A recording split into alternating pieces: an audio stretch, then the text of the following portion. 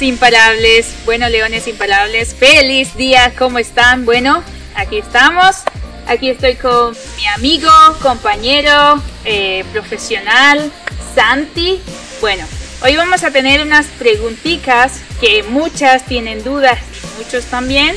Entonces Santi les va a responder esas dudas, pero primero vamos a conocer un poco a Santi, quién es Santi, qué hace Santi y en qué se especializa Santi, ¿no? Así que bueno, Santi, cuéntanos eh, quién eres tú, cuál es tu profesión y...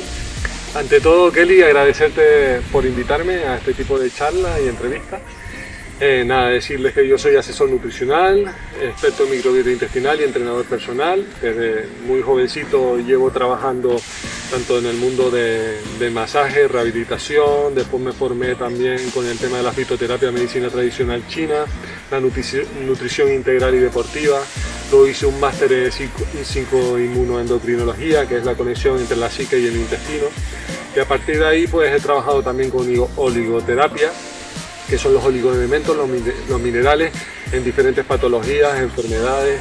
También he hecho varios cursos eh, relacionados con el mundo del deporte, de la salud, el entrenamiento personal, por supuesto, y todo esto me ha llevado a hacer mi propio método, ¿vale? Es un método que trabajo de la microbiota intestinal y que llevo años realizando y da muy buenos resultados. Bueno, muchas gracias Santi. O sea, bueno chicas, ya les ha quedado bastante claro qué es lo que hace Santi. Entonces, bueno, vamos a, estas preguntas que, bueno, muchas clientas y me han, preguntado, ¿no, Santi? Pero bueno, como yo me enfoco mucho en el estado emocional y todo eso, pero tú desde tu punto de, experto, especialización, ¿tú crees que la alimentación, por ejemplo, la alimentación, la nutrición, todo esto va, va más allá, ¿no?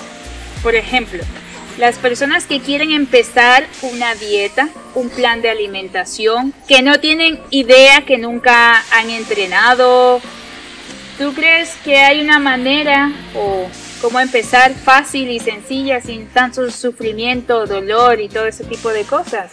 Por supuesto, Kelly. De hecho, el tema de dieta ya es una imposición, ¿vale? Entonces hay que intentar hacerle entender al cliente vamos a hacer un plan saludable, un plan acorde a sus necesidades. A veces sí que es verdad que en algún momento el, cliente tiene que hacer algún tipo de sacrificio, ¿vale? Porque según su patología o enfermedad o lo que tuviera o sus propósitos, pues sí que es verdad que entre uno o dos meses hay que hacer algún tipo de limpieza, ¿vale? Para desintoxicar el cuerpo y ponerlo en plenitud. Pero hay que darle todas las estrategias posibles para que pueda tener las herramientas suficientes para crear recetas ricas y saludables y no se tiene que privar de nada. Puede hacer postres, hay postres sin gluten, hay postres sin azúcar, pero todo, todo tiene un debido proceso. La persona tiene que querer y aprender a hacer este tipo de alimentación. No tiene que estar toda la semana tampoco haciendo comida.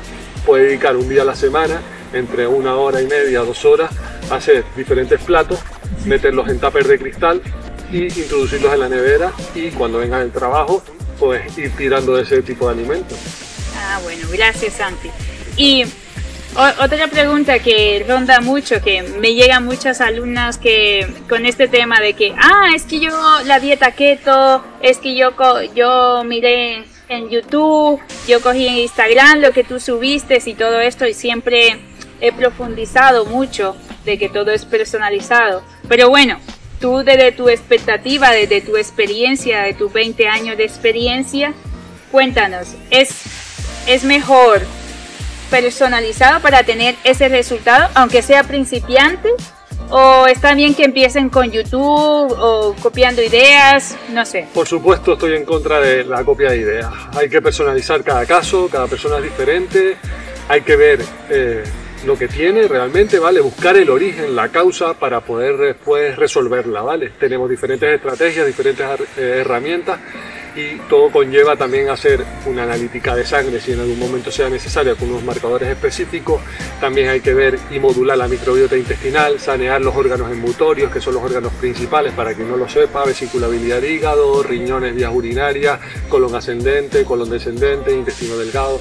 Entonces todo esto nos conlleva también con una parte emocional que la integra aquí nuestra amiga Kelly a hacer un cómputo global y mejorar nuestra salud en todos los ámbitos. Ah, ok.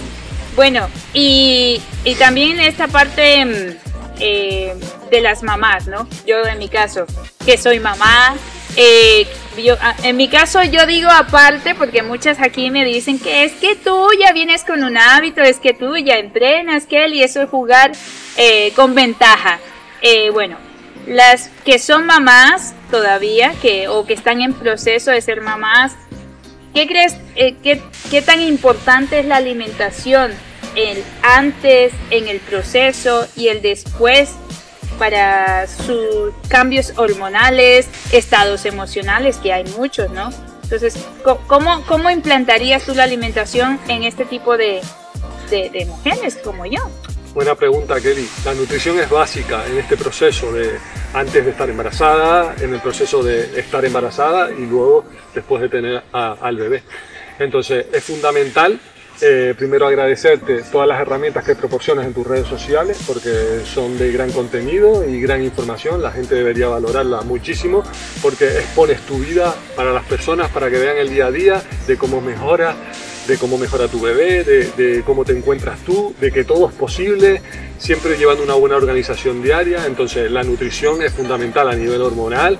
Antes, cuando ya le estás dando el pecho al bebé, es fundamental porque ahí le estás dando todos los nutrientes a esa persona. Cuando tienes al bebé también en la barriguita es importante porque estás introduciendo a, nivel de ácido fólico, a nivel de magnesio, a nivel de hierro, todos esos tipos de nutrientes que son necesarios para el crecimiento de la criatura y por supuesto luego todas las reacciones químicas que llevan esos nutrientes en nuestro intestino, los que van a crear nuestros primeros neuroconectores en la vida. Cuando el bebé da luz, ya se van generando todos esos, todos esos pensamientos, esas ideas de forma inconsciente y el niño tiene que estar pleno, ¿vale? Pleno de capacidades a medida que va pasando los meses, los años, toda esa conectividad, toda esa psicomotricidad que se va ganando con el paso del tiempo, es fundamental hacerlo a través de los alimentos, los alimentos más saludables posibles.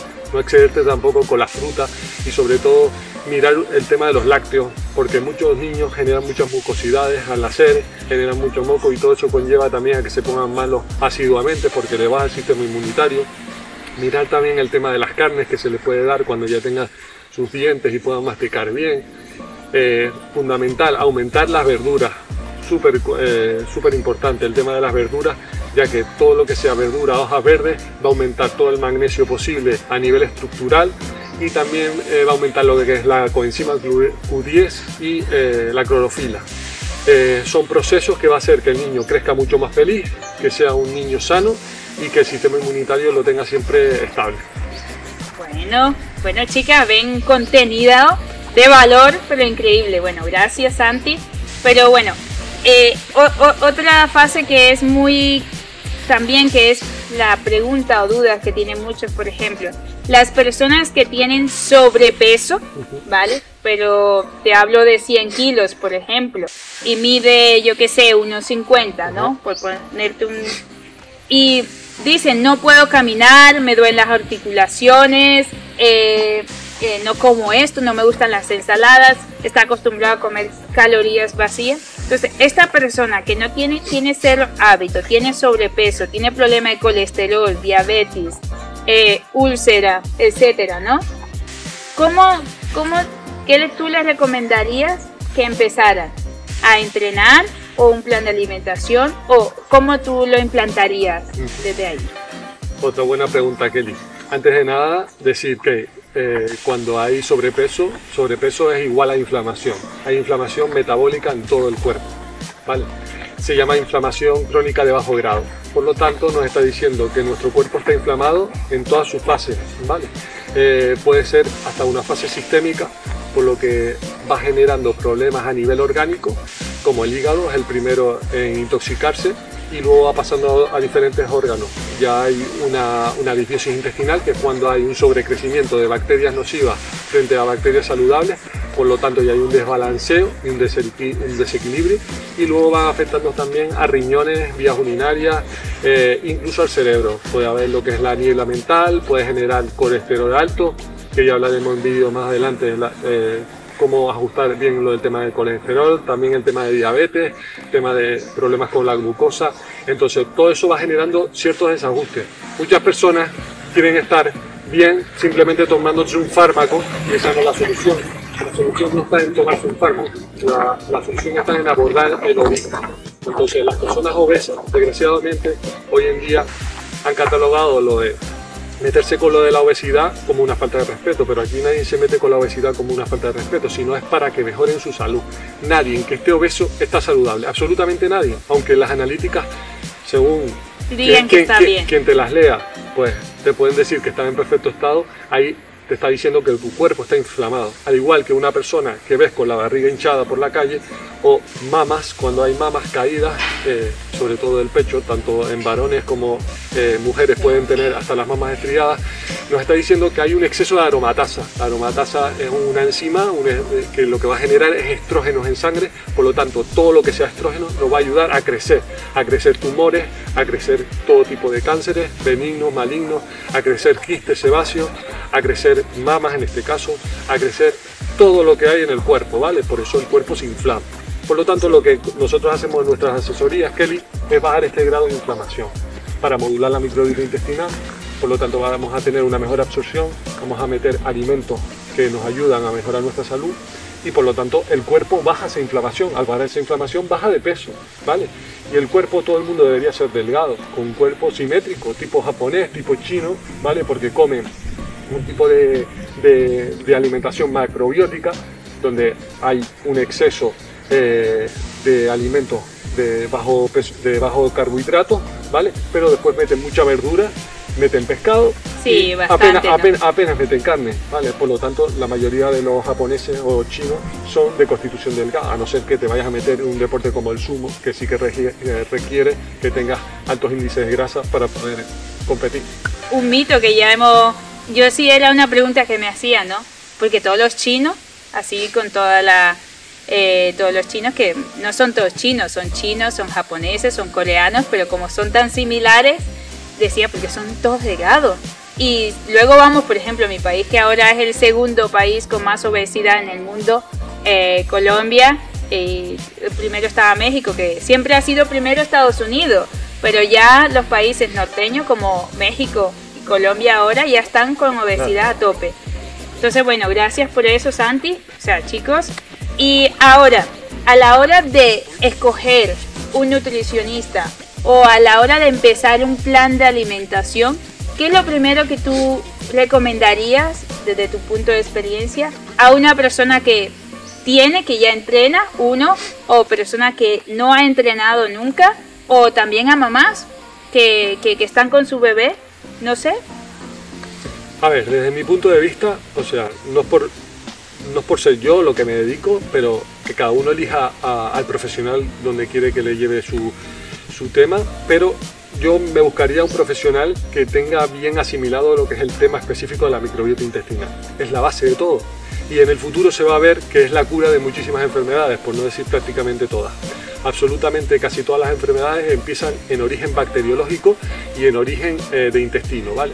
Entonces es fundamental que la persona donde ustedes vayan tenga conocimientos ya no básicos, sino avanzados de microbiota intestinal.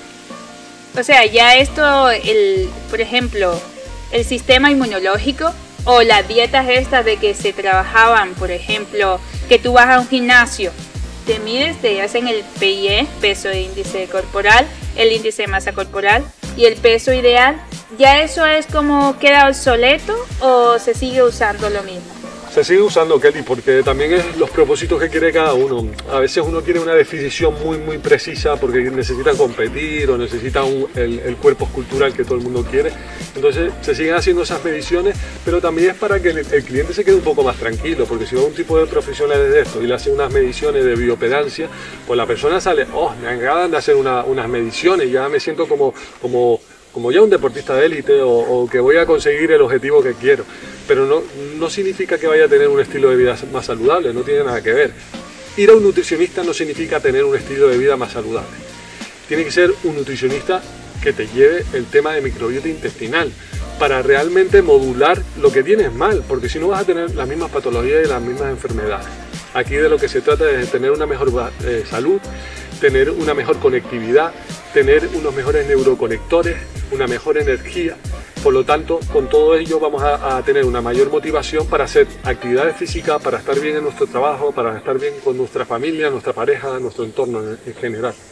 Bueno, eh, eh, todo lo que acaba de decir Santi, bueno, León, ustedes saben que estoy muy específico con eso, eh, el tema de la alimentación, de la nutrición, del deporte y todo eso porque ustedes saben que trabajo mucho el tema emocional y ya no quiero, porque yo he pasado por el tema de las dietas estas estrictas, la dieta keto, la dieta no sé qué, y uno quiere un cuerpo marcado y tal, pero al final he entendido que no, que, el deporte o un cuerpo fitness va más allá, ¿no? del ser, de cómo yo me siento, de cómo yo estoy.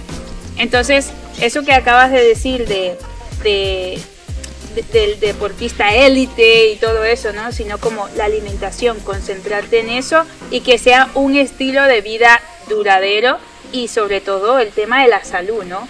Entonces, eh, ya para terminar, ya vamos a terminar, si les gusta eh, este contenido, si les parece útil, por ejemplo, y si se quieren entrenar, chicas, por ejemplo, aquí en Kedu Sport o en Alimentoría, si quieren eh, contactar a Santi también en su página, Pueden dejar sus dudas aquí sobre alimentación, sobre enfermedades, patologías, si tienen, niños enfermos también. Cualquier cosa pueden escribirnos aquí.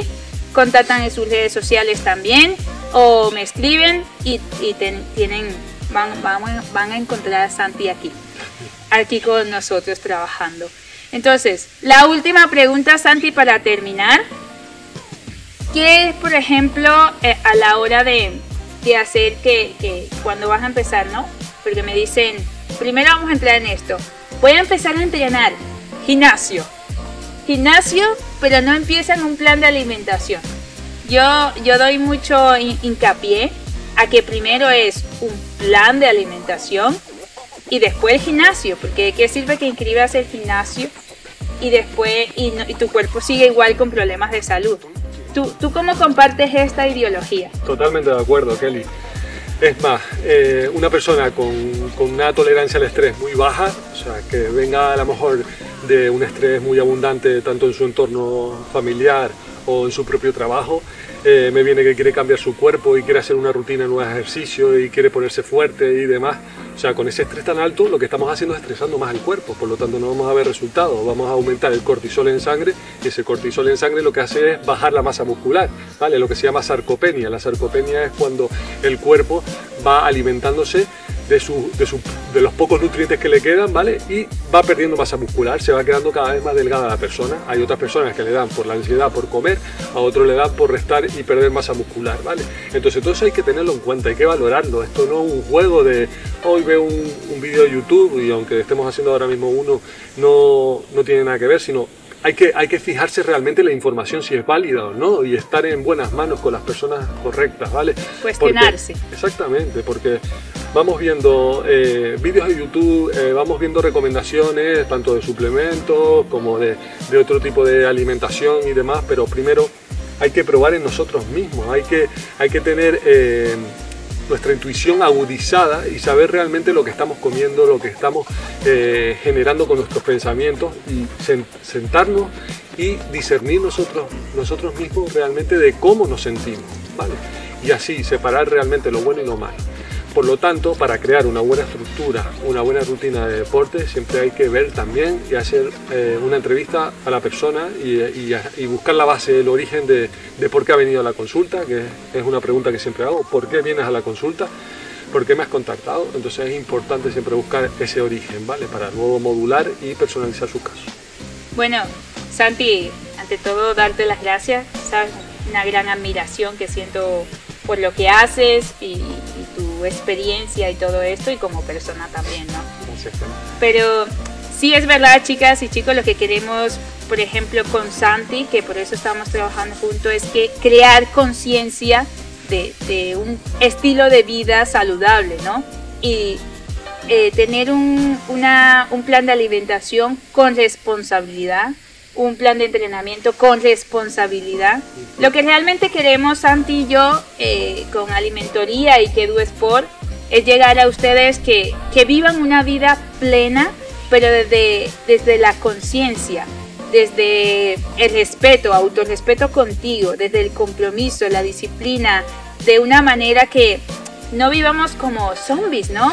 En piloto automático, ¿verdad? Exactamente. Que, que vamos cogiendo y absorbiendo todo lo que nos dan, toda la información. Ojo, hay mucha información y mucha desinformación, ¿no? Lo que acaba de decir Santi. Y por eso estamos enfocados en que damos asesorías personalizadas y que los planes de nosotros aquí en Alimentoría y Kedu Sport son personalizados. ¿Por qué? Porque la dieta o la dieta o el plan de alimentación, ¿vale? Eh, no es el mismo de Santi, que aunque hagamos los dos deportes, no es lo mismo. Eh, su estado hormonal no es el mismo que el mío.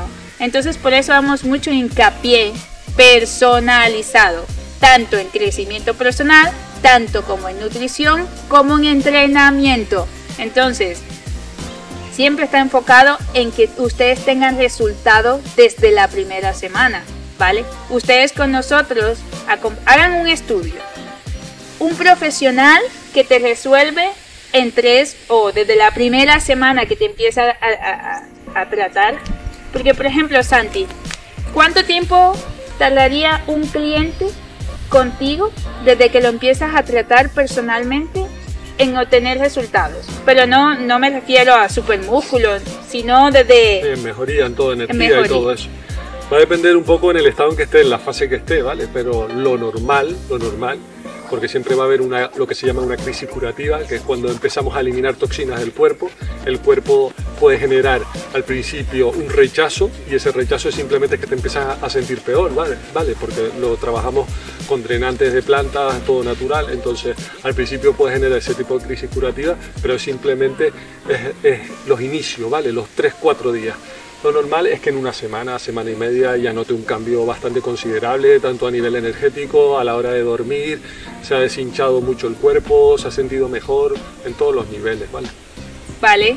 Bueno, chicas, nosotros aquí le garantizamos desde que empiezan con nosotros entrenamiento desde la primera o segunda semana a tener resultados 100%, porque Santi es cree en él, tiene su experiencia y, yo también, ¿no? Entonces creamos cambios extraordinarios. Así que si tú eres una persona o eres una mujer que está teniendo problemas de salud, diabetes, colesterol, todo eso, contáctanos. Si eres una persona que está teniendo depresión, que te cuesta tomar decisiones, que no sabes por dónde empezar, que no tienes una visión, también contáctanos. En las dos redes sociales se las vamos a dejar aquí, el Instagram de Santi, el mío, y nos contactan y pues nada, muchas gracias, dejen sus comentarios, suscríbanse al canal y un beso gigante. Bueno, chao, chao. Chao.